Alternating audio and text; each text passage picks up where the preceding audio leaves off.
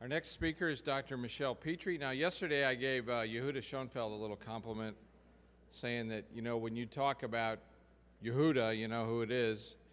Well, you know, if somebody, a rheumatologist tells you that they called Michele and she told them what to do in, rheum, in lupus, you know that we know what all that means.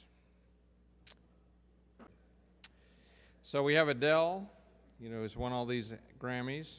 We have Enya. We have Oprah. And now we have Michele, rock star of rheumatology. And she's going to give us an update on antiphospholipids. But David, I want their millions for lupus research. Now, I can never equal yesterday with bombs going off in the middle of my talk, so.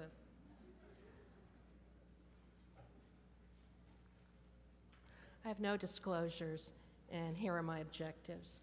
So I'm going to start with a real patient.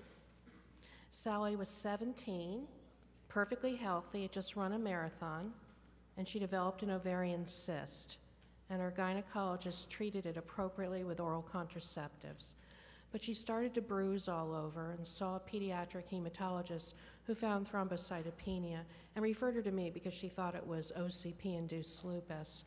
I was the one to do the urinalysis and found out she was nephrotic with some hematuria.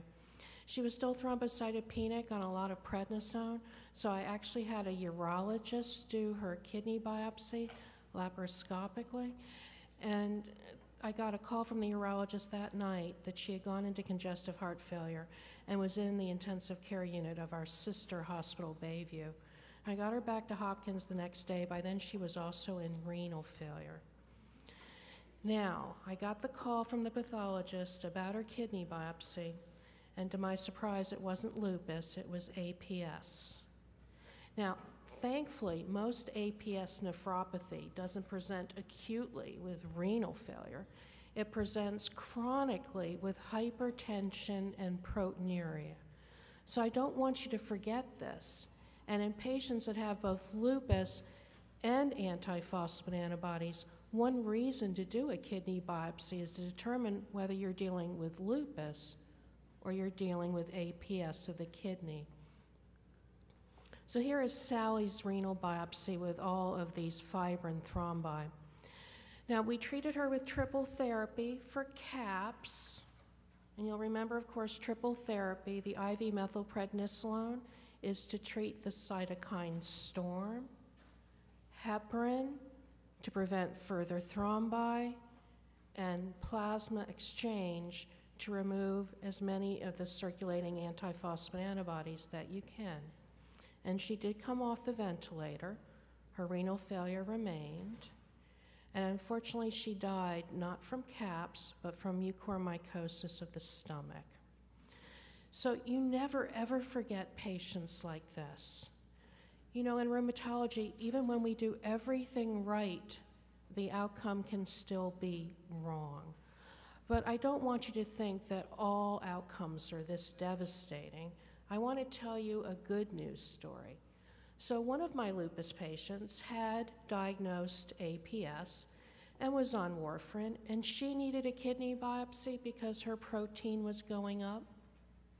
So we appropriately bridged her with low molecular weight heparin, both before and after her biopsy, and the day after her biopsy, she was sent home. Now, she pulled off the road to email me that her ear was hurting. I got the email, I replied back, you know, please come off the highway again and photograph your ear and send me the email. And of course, you can guess what the photograph showed. She had necrosed her outer ear. And I said, This time, turn around and come right back to Hopkins. I had the emergency room literally waiting for her, ready to give her intravenous methylprednisolone and therapeutic doses of intravenous heparin. By the time we got repeat labs, her creatinine had doubled, her platelets had gone from 110 to like 40.